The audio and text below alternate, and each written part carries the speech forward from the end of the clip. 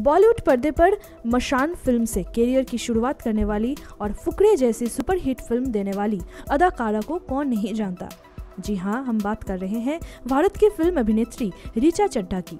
मुंबई के बांद्रा में कैमरे की नज़रों में कैद हुई रीचा रीचा चड्ढा अपने सेक्सी अंदाज में काले और भूरे रंग के कपड़ों में संतरे रंग के बेली के साथ और खुले बालों में कह ढा रही थी। देखिए इस वीडियो में। मुंबई से अमरनाथ की रिपोर्ट एएनएम न्यूज़ और खबरों के लिए सब्सक्राइब कीजिए एएनएम न्यूज़ बेल आइकन दबाकर रहिए सबसे आगे।